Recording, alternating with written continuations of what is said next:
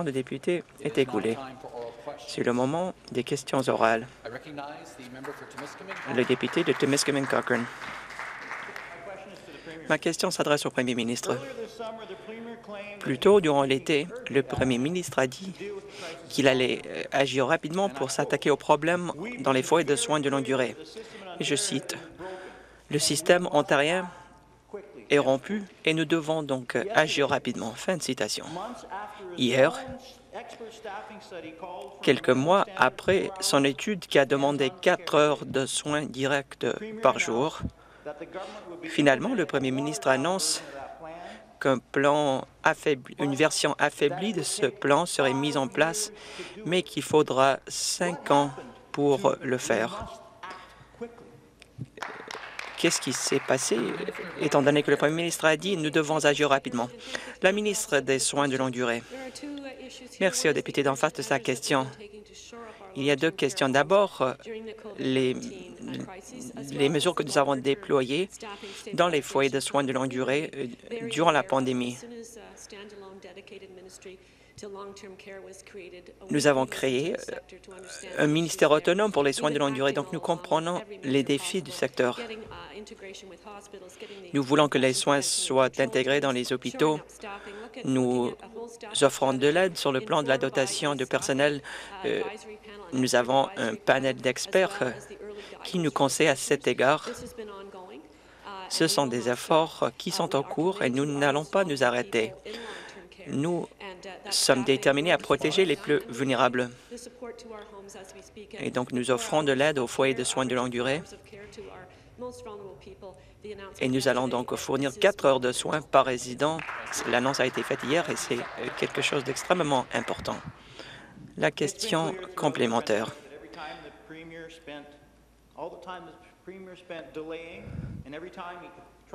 Le premier ministre a beaucoup tardé il a retardé les investissements et donc euh, les gens dans les foyers de soins de longue durée sont décédés. Mais dans d'autres provinces, la réaction a été rapide. On a embauché des milliers de préposés de services de soutien à la personne et on a augmenté de façon permanente leur salaire. Mais le panel d'experts euh, du gouvernement Ford, son rapport euh, a été mis de côté. Est-ce que le Premier ministre comprend que les résidents et les préposés des services de soutien à la personne ne peuvent pas attendre cinq ans avant de voir euh, de l'action? La ministre des Soins de longue durée. Cette idée d'avoir quatre heures de soins directs par résident par jour, c'est absolument quelque chose d'essentiel et notre gouvernement travaille de façon continue sur cet objectif.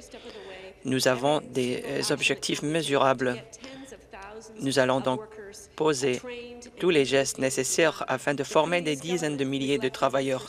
L'ancien gouvernement a négligé ce secteur pendant 17 ans. D'autres gouvernements ont fait des propositions, mais n'ont rien mis en place. Notre gouvernement est déterminé à réaliser cet objectif. Et nous allons euh, faire en sorte de nous attaquer aux questions en matière euh, de dotation personnelle dans les foyers de soins de longue durée. Question complémentaire finale. D'après moi, euh, ce n'est pas un bon objectif s'il faut attendre cinq ans. Malheureusement, les familles et le personnel ne font plus confiance au gouvernement.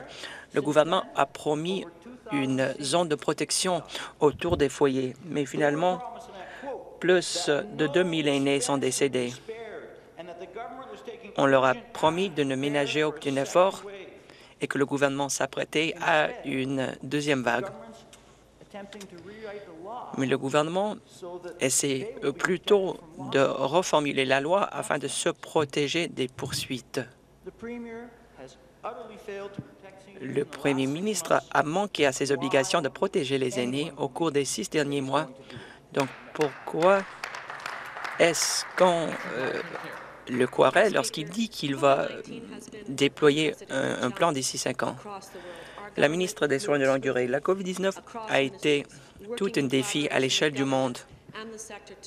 Nous avons posé tous les gestes nécessaires et nous avons investi 243 millions de dollars afin d'appuyer les foyers de soins de longue durée. Nous avons émis quatre décrets d'urgence et nous sommes en train de, de créer un système intégré. Nous voulons aussi nous attaquer au problème de dotation personnelle, un problème de longue date qui a été ignoré depuis longtemps. Le projet de loi 13 a été déposé, mais il n'a aucun échéancier ni de plan pour euh, prévoir ces quatre heures de soins par jour. Notre gouvernement a un plan et nous allons poser des gestes afin de réaliser ces objectifs. Il y a un plan pour permettre au PSSP à la retraite de retourner au travail. Question suivante, la députée de Davenport. Merci.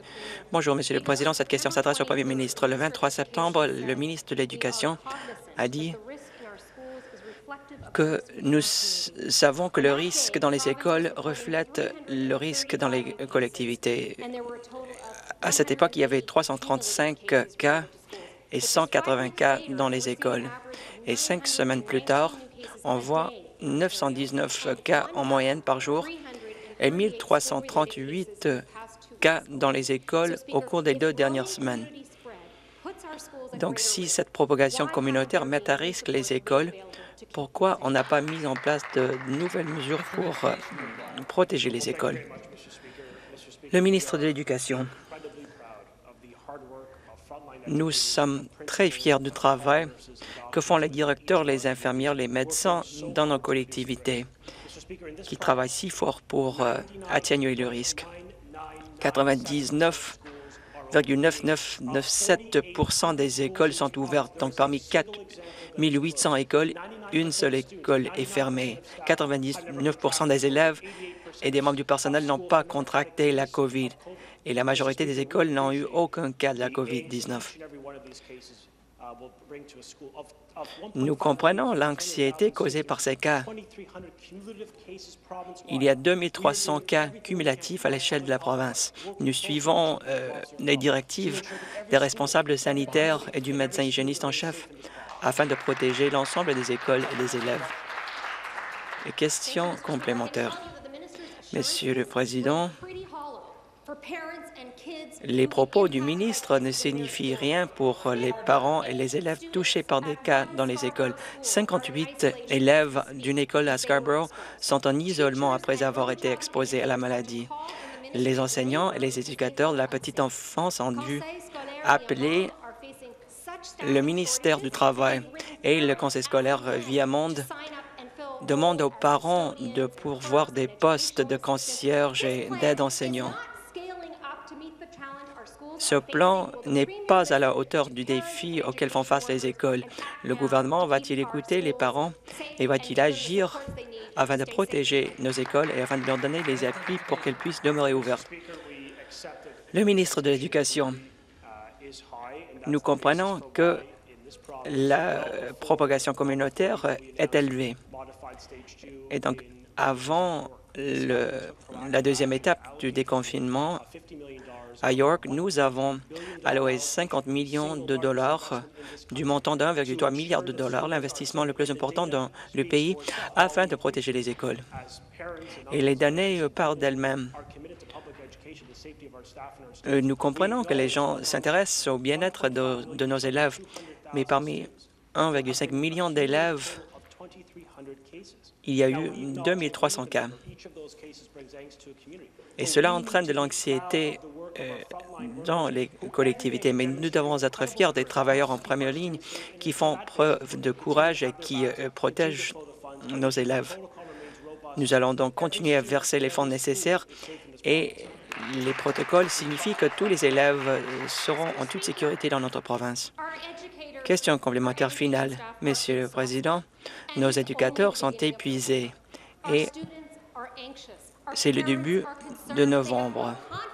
Les parents sont très troublés quant à la capacité du gouvernement de, maintenir les écoles ouvertes. Un conseil scolaire demande aux parents de pourvoir les postes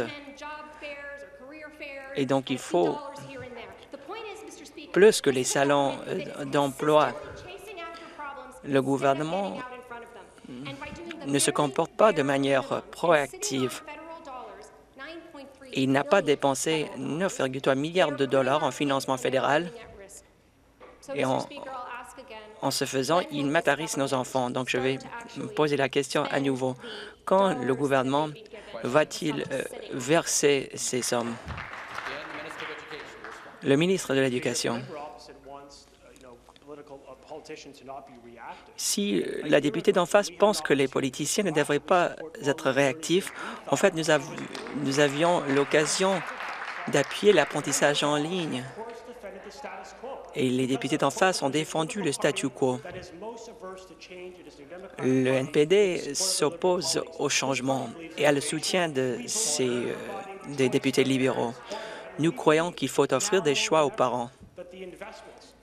Et maintenant, plus que jamais, les investissements et les protocoles du médecin hygiéniste en chef signifient que les, enfants sont en toute sécurité et nous avons des normes très élevées en matière d'apprentissage en ligne. Nous pouvons faire euh, les deux choses en même temps. Question suivante, le député d'Essex. Merci. Cette question s'adresse au premier ministre. Canada Christian College et ses états financiers cachés font preuve d'un manque de responsabilité financière. Euh, on dit que c'est un euh, organisme de bienfaisance, mais selon ses états financiers, cette euh, entité dépense beaucoup sur, par exemple, des automobiles, des photos enlevées de l'Internet démontrent que Charles McVitie et sa famille se servent des véhicules de Canada Christian College euh, comme leurs propres jouets. Donc, le ministre va-t-il euh, passer en revue les états financiers de ce collège? Et est-ce qu'il y aura une étude de la stabilité financière de ce collège avant qu'il soit en mesure de conférer des diplômes? Le ministre des collèges et des universités.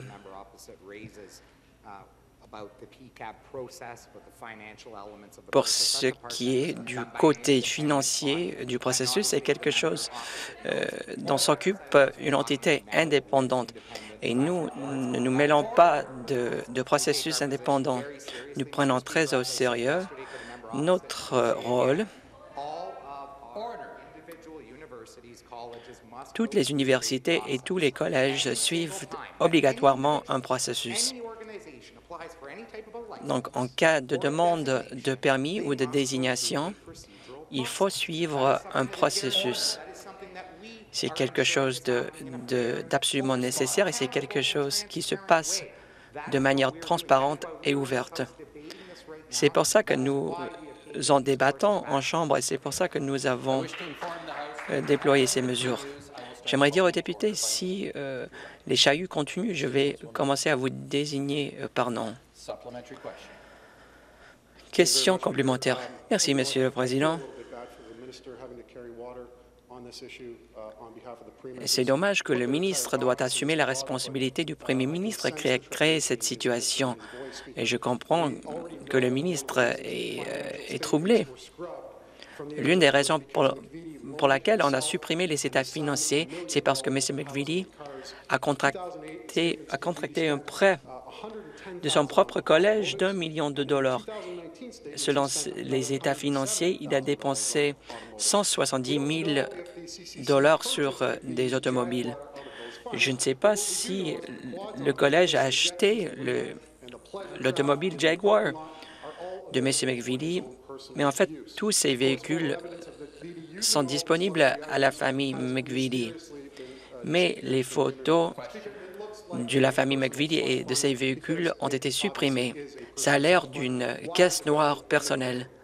Donc pourquoi le gouvernement approuve-t-il euh, les finances de ce collège?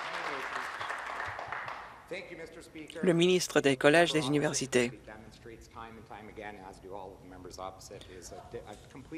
Le député d'en face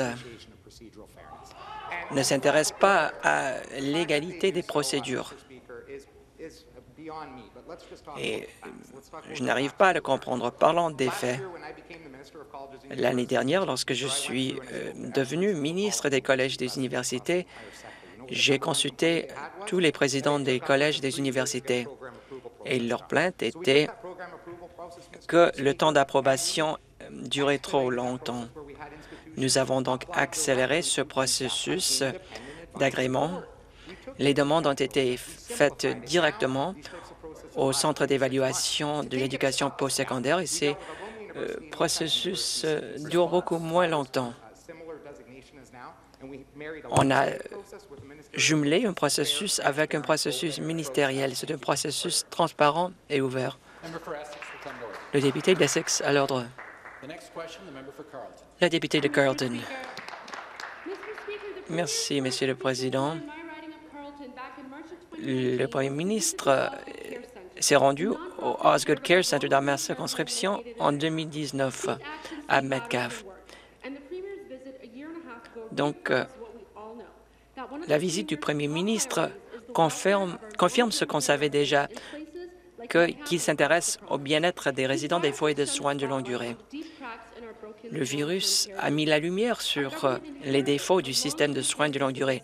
Notre gouvernement a hérité du système de soins de longue durée qui avait été négligé pendant des décennies. Les Ontariens ont confié la responsabilité au premier ministre de, de régler ces problèmes et il a pris l'engagement auprès des familles des aidants naturels de s'attaquer à ces problèmes. Nous avons donc un plan d'1,5 milliard de dollars pour euh, améliorer les foyers de soins de longue durée. Le premier ministre euh, peut-il nous expliquer la manière dont notre gouvernement met en place les recommandations de la commission indépendante? Le premier ministre. Merci à la députée de Carlton. Elle fait un excellent travail. Je tiens à saluer les infirmières et les préposés des services de soutien à la personne qui sont en première ligne et qui ne s'épuisent pas après quelques mois. En fait, elles travaillent fort depuis euh, des mois. Et je suis heureux que nous avons que nous allons fournir quatre heures de soins directs par résident. L'opposition a essayé de le faire pendant 20 ans, les libéraux aussi, mais ils n'ont pas pu le faire.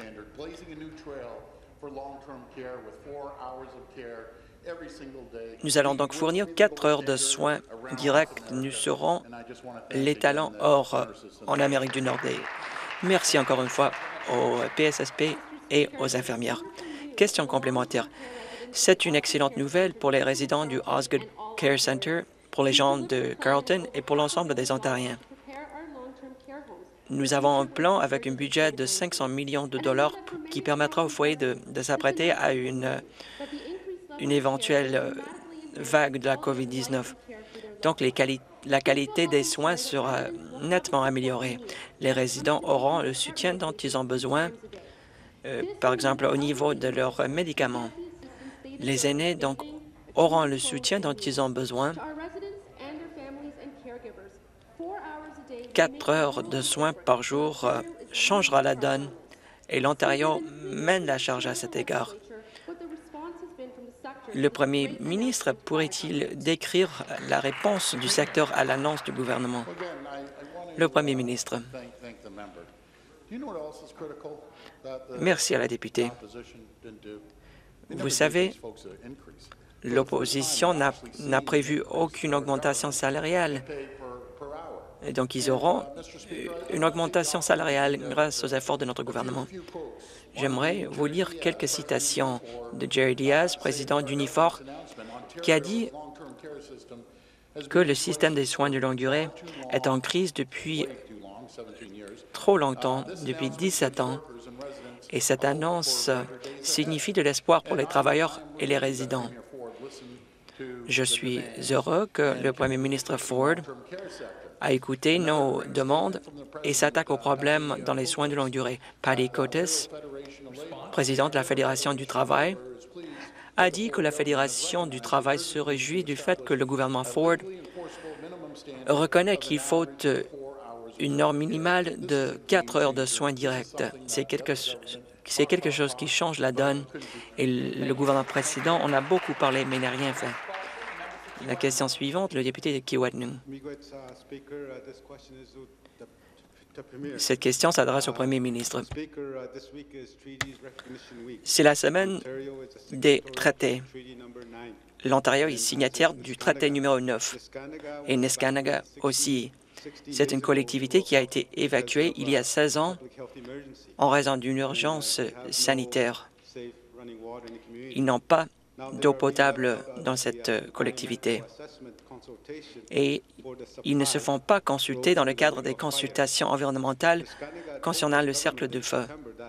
Naskanaga avait dit au gouvernement qu'il ne pouvait pas participer au processus de façon significative en raison de la pandémie. Et ces, ces consultations doivent maintenant se produire durant une pandémie. Pourquoi est-ce que ce processus va de l'avant sans la participation de Ms. Kanaga?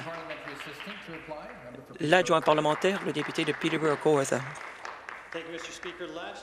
Merci, Monsieur le Président. L'année dernière, notre gouvernement a conclu une entente historique avec Webequay et Martin Falls pour ce qui est de la route vers le cercle de feu. Nous continuons nos discussions euh, sur le cercle de feu avec nos partenaires autochtones et nous allons consulter toutes les, euh, collectivités touchées. Question complémentaire au Premier ministre. Neskanaga est sans eau au courant depuis février 1995. Nous avons besoin d'un étalon or.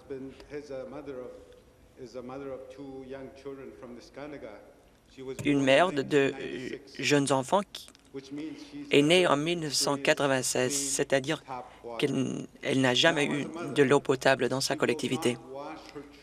Elle est mère et elle ne baigne pas ses enfants avec l'eau courante car elle entraîne des, des plaies, des infections de la peau elle est obligée d'utiliser de l'eau embouteille pour baigner ses enfants âgés d'un an et de trois ans. Elle, espère avoir de l'eau potable avant l'arrivée de son troisième enfant. Monsieur le Président, nous devons faire mieux pour ces enfants. L'Ontario doit faire mieux.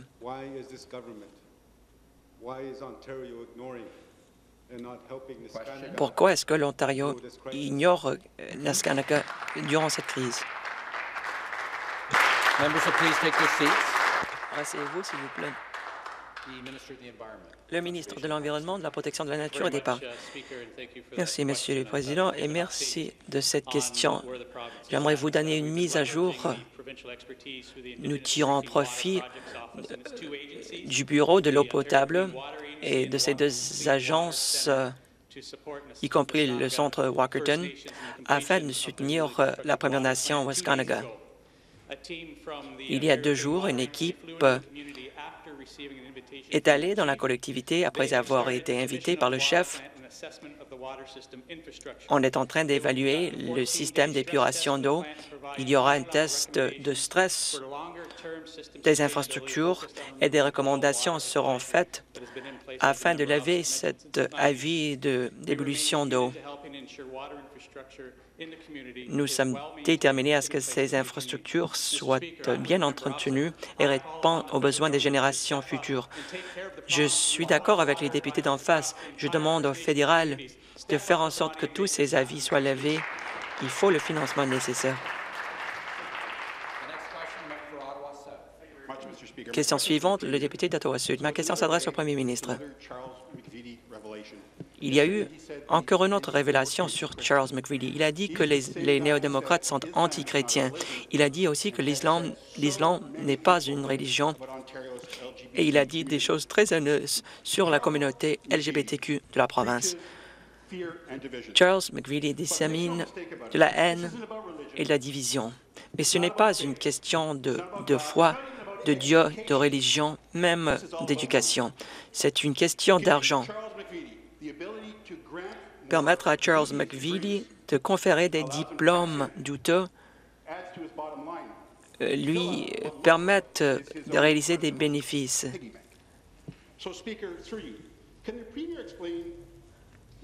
Le Premier ministre peut-il expliquer pourquoi il euh, permet l'adoption de ce projet de loi?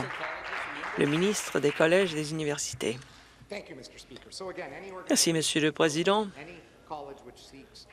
Tout collège qui cherche à obtenir ce statut, qui cherche à pouvoir conférer des diplômes, tout établissement de ce genre a trois options. Par voie de projet de loi de député, qui est, qui est étudié en comité, il n'y a pas de débat en Chambre. C'est un processus qui est peu transparent. La deuxième option, c'est par voie de consentement ministériel. Et donc, en demandant cet agrément, la demande se fait directement au Centre d'évaluation de l'éducation postsecondaire.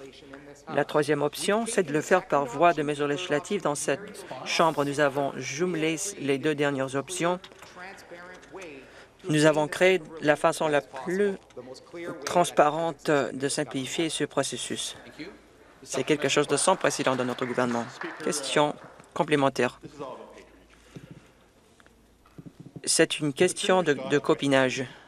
Le, premier ministre esquive des questions depuis une semaine. Il est là aujourd'hui. J'aimerais avoir une réponse. La vice-première ministre, en mêlée de presse, avait le courage de dire que nous ne devrions aucunement tolérer la haine en Ontario. Mais elle est la seule personne à dire cela. Elle a fait ce que doivent faire les, euh, les leaders, c'est-à-dire de s'attaquer directement au problème.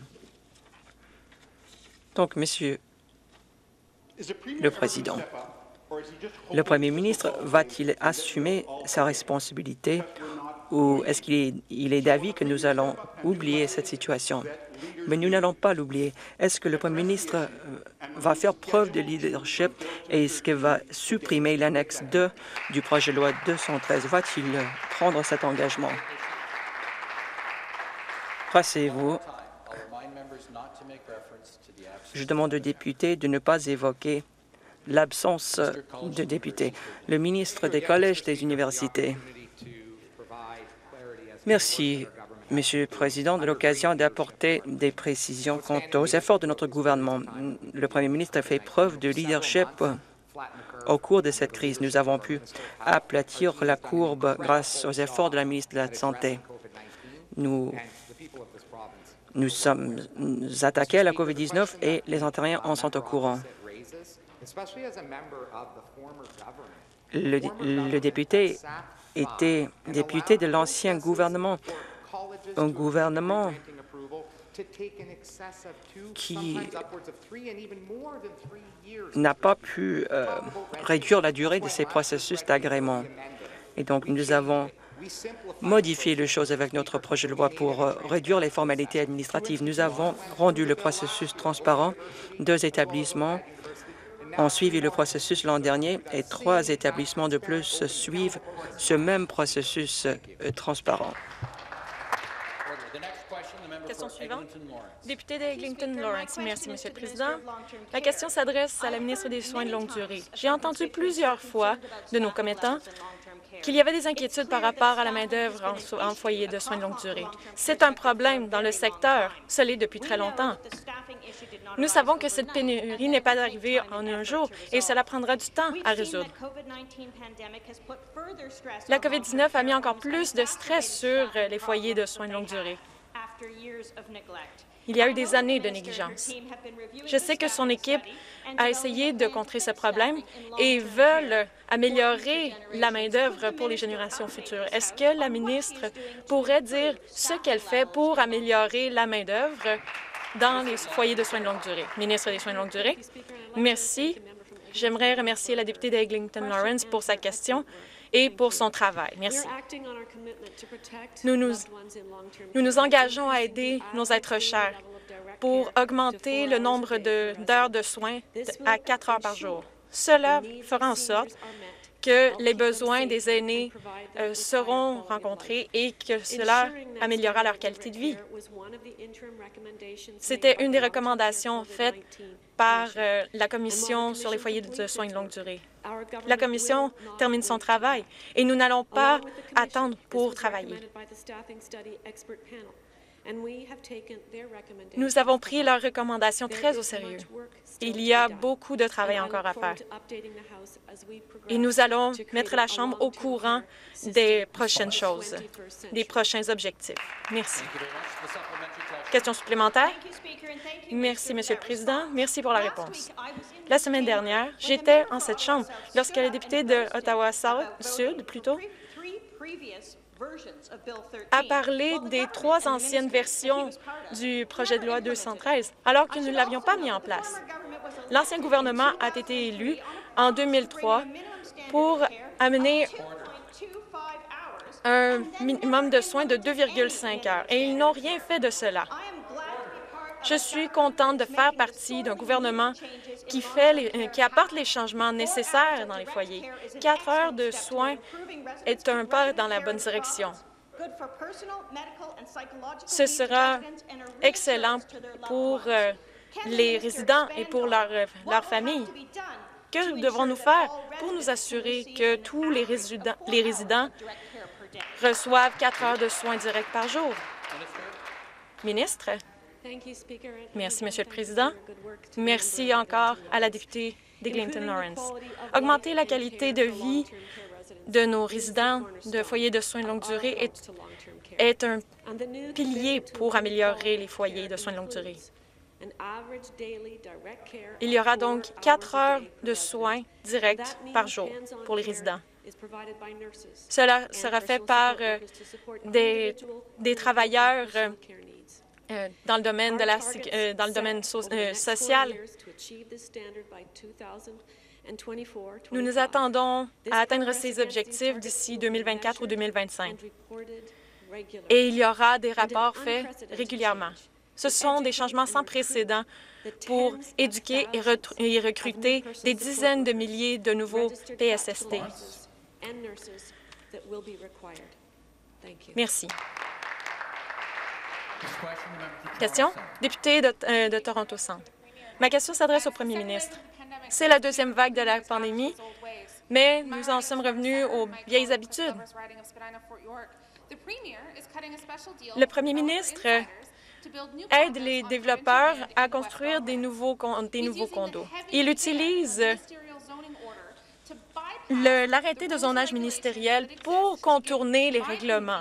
Cela affecte ma communauté.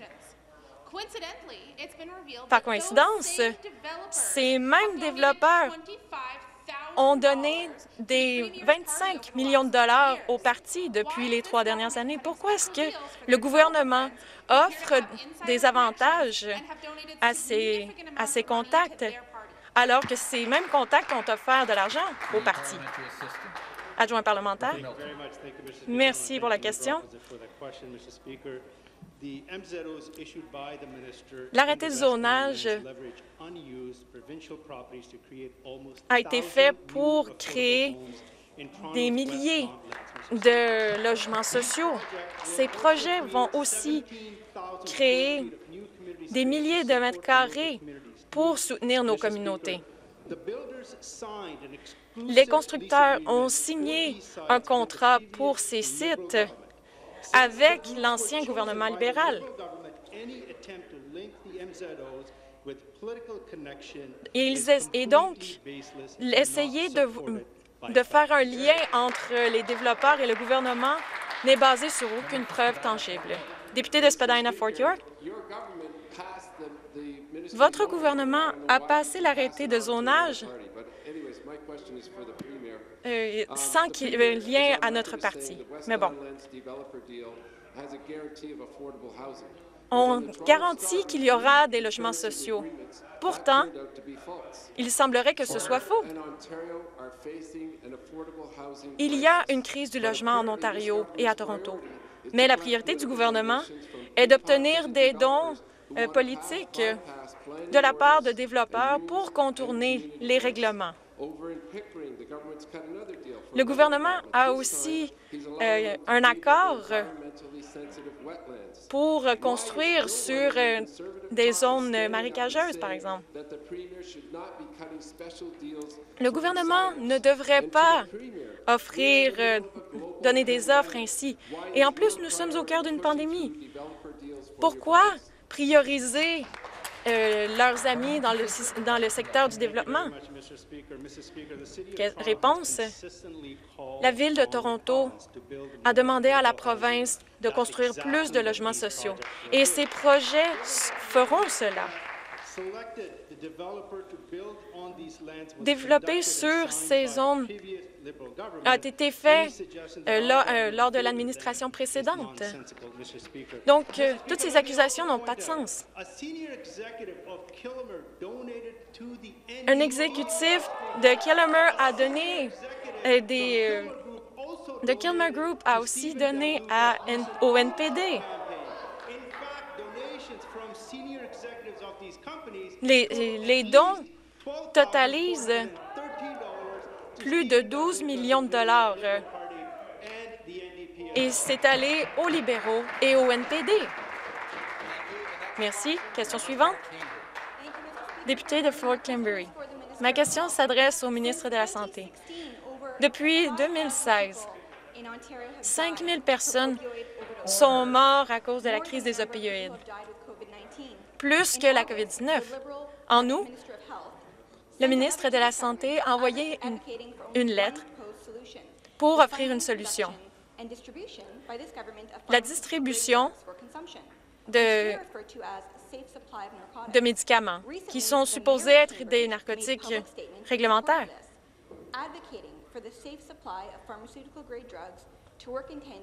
Il faut, ils l'ont fait pour euh, aider pour la prise de médicaments? Est-ce que le gouvernement a l'intention de distribuer des narcotiques en Ontario? Adjoint parlementaire. Merci, Monsieur le Président. Merci pour la question. Nous prenons la crise des opioïdes très au sérieux. Notre gouvernement, comme vous le savez, il y a de cela quelques semaines, avec le premier ministre Doug Ford, a annoncé un investissement de 170 millions de dollars pour, euh, euh, que, euh, pour le système de la santé mentale contre les addictions. Nous faisons des investissements ciblés. Nous voulons nous assurer que l'argent sera investi pour contrer les problèmes de, consommation. Cela implique des millions de dollars euh, euh, pour les services de désintox,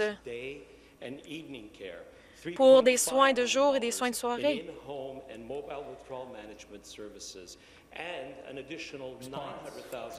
Et également 9 millions de dollars pour des lits pour des patients qui ont des problèmes de consommation. Merci.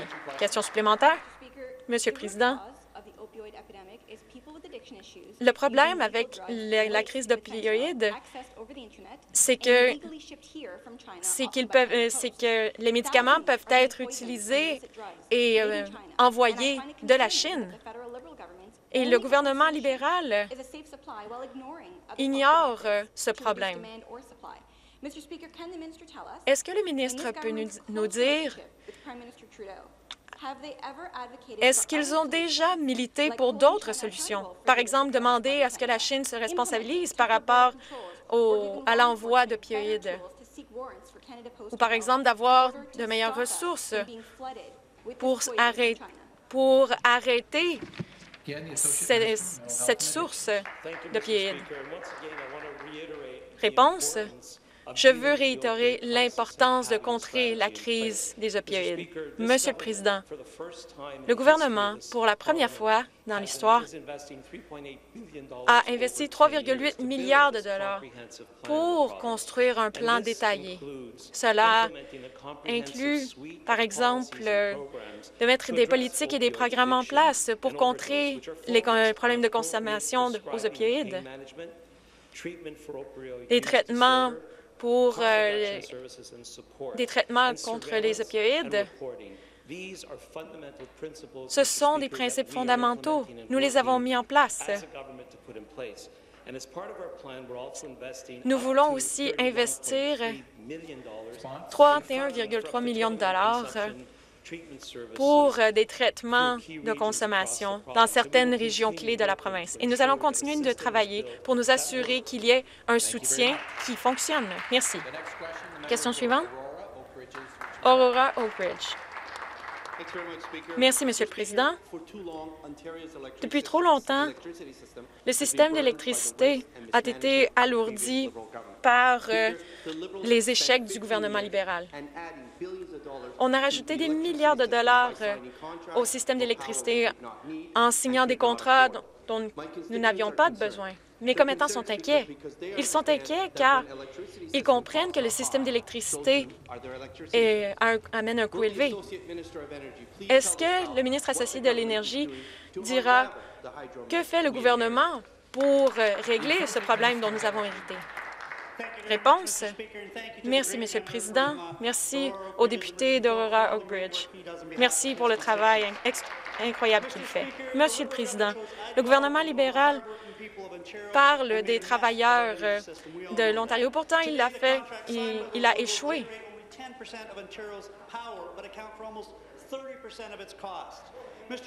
Les coûts sont extrêmement élevés. Nous avons annulé, annulé des centaines de contrats et nous avons euh, économisé des millions de dollars en faisant de la sorte.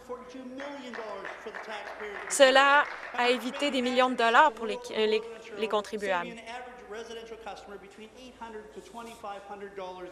Et cela permet aux contribuables d'économiser des centaines de dollars à chaque année. Nous voulons nous assurer que notre système soit à la fois efficace et abordable. Merci. Question supplémentaire? Au ministre encore, je le remercie pour ses commentaires. C'est un très bon progrès, effectivement.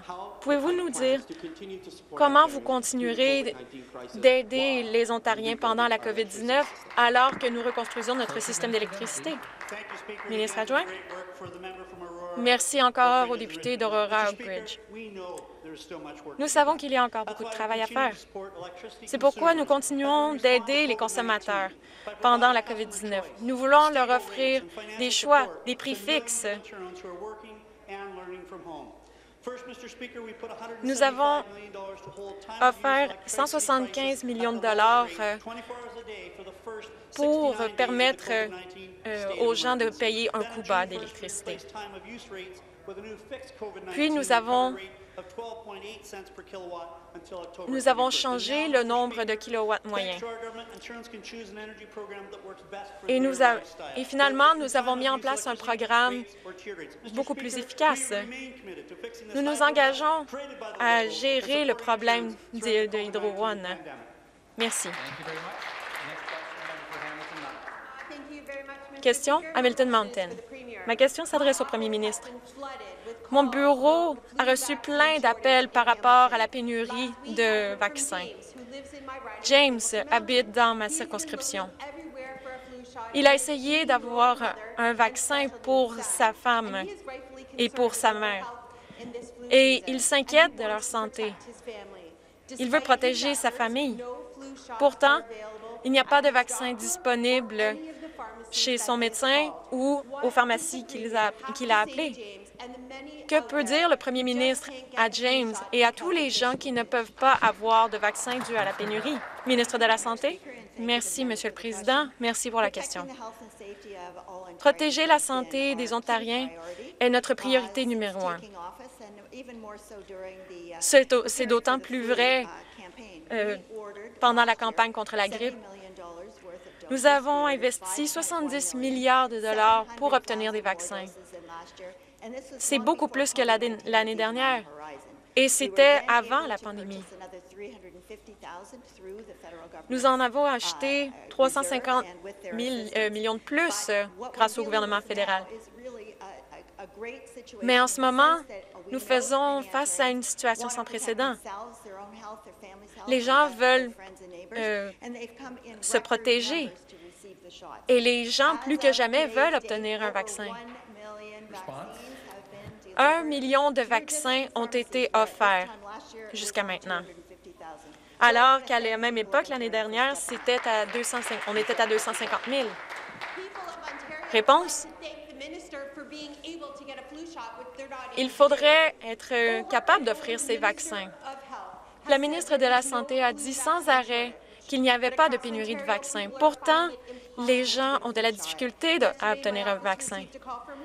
J'ai reçu un appel hier de Wayne. Il a cherché à Hamilton pour avoir un vaccin pour euh, sa mère et son père.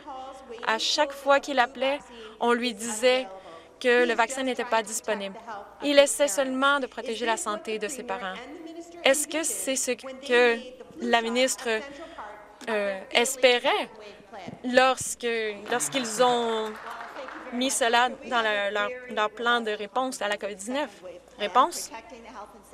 Nous voulons continuer de protéger la santé des Ontariens. Et comme je l'ai dit, nous avons commandé des millions de doses de plus.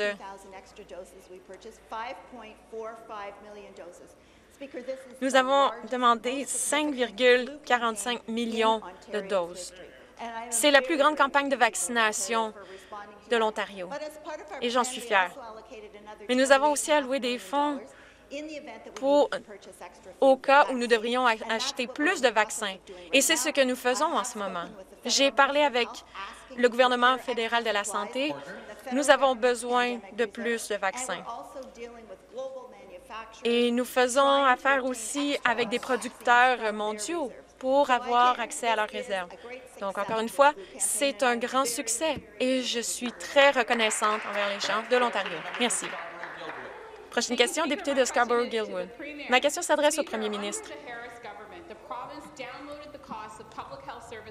Les, les coûts euh, des municipalités euh, s'équivalent à 50-50.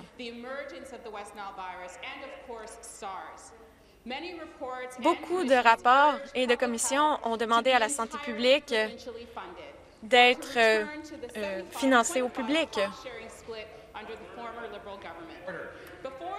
Avant que la pandémie frappe, on a revisité cette euh, séparation et on a et on a renvoyé une partie des coûts de la santé aux municipalités.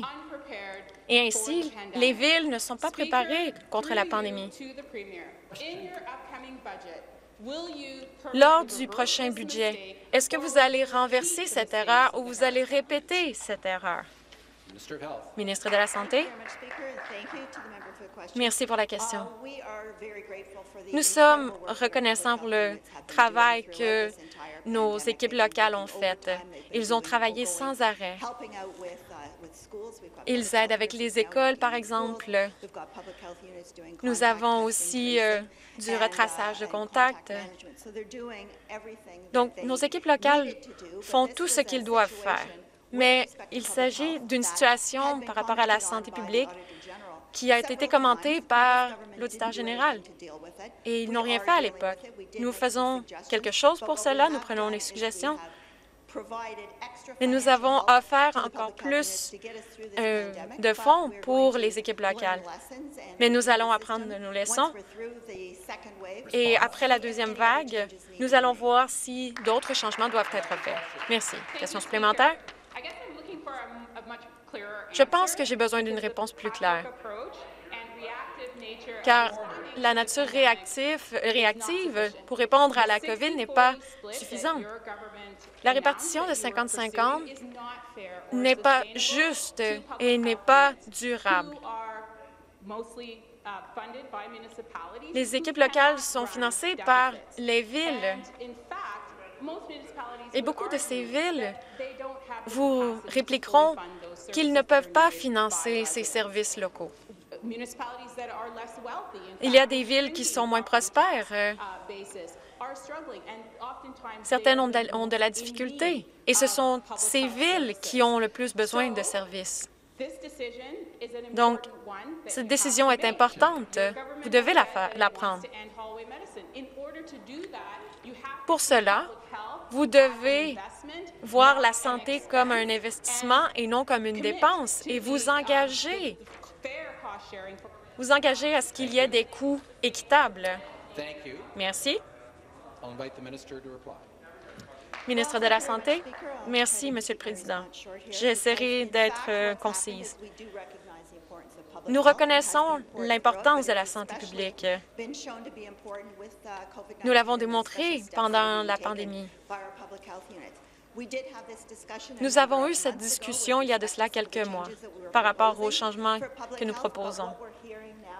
Et ce que nous entendons maintenant, c'est que les unités euh, de la santé publique sont satisfaits de la situation. Ils sont satisfaits des, dépenses. Ainsi, nous allons continuer de les aider à contrer la COVID-19. Donc, les unités de la santé publique, selon nous, selon ce que nous avons compris, sont satisfaits avec la situation et ils sont capables de gérer la situation actuelle. Question suivante, député de Brampton East. Merci, Monsieur le Président. Ma question s'adresse au Premier ministre. La semaine dernière, le Premier ministre est venu à Brampton et il a parlé de la création d'un nouvel hôpital. Nous n'avons qu'un seul hôpital en ce moment. Brampton a été sous-financé par les libéraux et par les conservateurs depuis des années. Ce dont Brampton a besoin, c'est d'un hôpital ouvert 24 heures avec une salle d'urgence. Et je dois être clair ici. Est-ce que ce nouvel hôpital aura un service d'urgence ouvert 24 heures? Ou est-ce encore une promesse vide de la part du gouvernement? Oui ou non? Ministre de la Santé? Merci pour la question. J'étais avec le premier ministre la semaine dernière à Brampton et il a, dit qu'il y aurait un nouvel hôpital. Brampton a une plus grande population et nous avons regardé euh, la situation actuelle, mais plusieurs facteurs doivent être pris en compte. C'est un processus qui doit être fait. Et nous allons recevoir les suggestions et travailler là-dessus. Mais nous ne pouvons pas vous donner de réponse aujourd'hui, car le les municipalités doivent nous dire ce dont ils ont besoin réellement. Question supplémentaire? Que ce soit clair, le premier ministre va jusqu'à Brampton pour parler d'un nouvel hôpital, mais il n'y aura même pas de salle d'urgence ouverte 24 heures. Donc, les millions de gens de Brampton auront seulement un hôpital où il y aura des services d'urgence. Est-ce que le gouvernement conservateur euh, croit vraiment qu'en cette crise, car nous luttons euh, à Brampton? Nous sommes, euh, notre hôpital est sous-financé, mais le gouvernement ne s'engage pas à régler cette crise. Est-ce que le premier ministre va arrêter de donner des promesses vides? Et va construire un, hôpital avec une salle d'urgence ouverte 24 heures, pas seulement un centre d'urgence? Réponse. Merci pour la question. J'aimerais vous rappeler que nous étions à Brampton pas pour l'hôpital, mais pour un autre sujet. Mais la question a été posée par rapport euh, à l'hôpital à Brampton. Bien sûr, nous savons que la population s'accroît à Brampton. Donc, il faut que les associations locales élaborent un plan pour qu'ils disent ce dont ils ont besoin. Ce n'est pas ce que le ministre de la Santé euh, fait. Cela se fait en consultation avec les villes. Si c'est ce que Brampton souhaite faire, eh bien, nous les invitons à en discuter avec nous. Question suivante, député d'Ottawa-Vanier. Merci. Ma question s'adresse au ministre de l'Éducation. La semaine dernière, nous avons vu certaines données par rapport à la COVID-19 à Ottawa. Il y a une chose qui est claire. Les éclosions arrivent dans les centres de la petite enfance et les écoles. Les écoles, les classes ne sont pas assez petites pour contrer les éclosions. Les écoles, les, les professeurs vivent énormément de stress. Notre système d'éducation est épuisé. Est-ce que le gouvernement admettra que notre système de l'éducation a besoin de plus de soutien? Il y a des preuves. La COVID-19 se propage dans nos écoles. Pourquoi est-ce que le ministre de l'Éducation ne peut pas diminuer les tailles des classes à 15 élèves? Ministre de l'Éducation? Merci, Monsieur le Président. Merci pour la question. Nous savons qu'à cause de la transmission communautaire, nous devons diminuer les risques dans les écoles. C'est pourquoi nous avons 27 millions de nouveaux, euh, nouveaux travailleurs dans le domaine de l'éducation. C'est parce que nous avons alloué des fonds pour euh, engager ces personnes.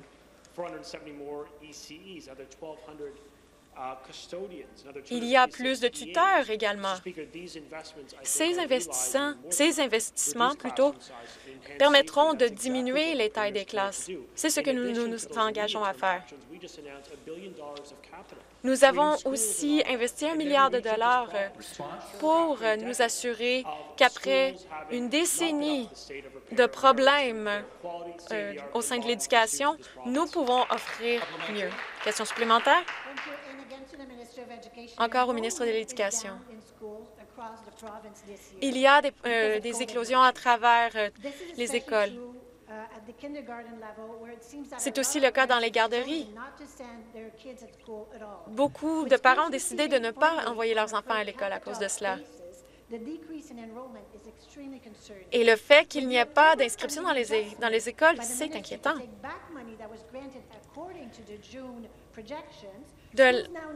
les écoles doivent redistribuer les élèves dans différentes classes.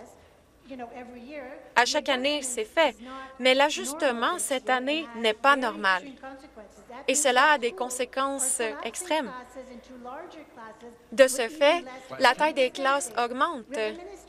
Est-ce que le ministre va, va pouvoir s'en tenir aux projections pour que nous n'ayons pas à augmenter encore une fois les tailles des classes? Merci. Ministre de l'Éducation, toutes les commissions scolaires ont, eu ont reçu des fonds. Cela fait partie de, notre, de nos programmes. Nous voulons nous assurer qu'il y ait de la prévention. Nous avons écouté le médecin hygiéniste en chef. Nous nous sommes basés sur son avis.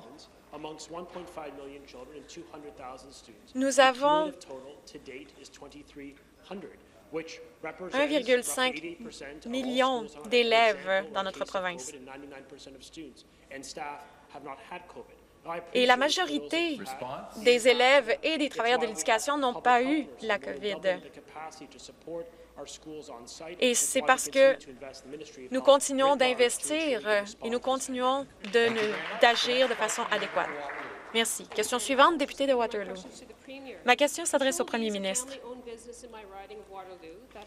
Il y a beaucoup de PME qui ont réussi, dans ma circonscription, qui ont ouvert des franchises. Ils ont besoin de soutien. Colin Johnson a dit qu'il y aura une diminution des PME, à moins qu'il n'y ait des directives claires du gouvernement. Pourtant, jeudi passé, l'interdiction des évictions a expiré et le premier ministre a dit que peut-être il y aurait un nouveau projet. Pourtant, il n'y a rien aujourd'hui qui a été déposé. Pouvez-vous nous assurer qu'il y aura une, une, prolongation des évictions commerciales?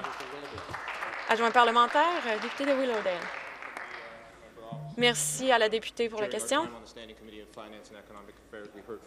Nous avons entendu des témoignages de beaucoup d'entrepreneurs et nous savons ce dont ils ont besoin en cette période, en cette période difficile. C'est pourquoi nous avons agi rapidement. Nous avons euh, investi 30 millions de dollars euh, au, mois de, au mois de juin. 50 millions de dollars pour euh, l'Ontario Together.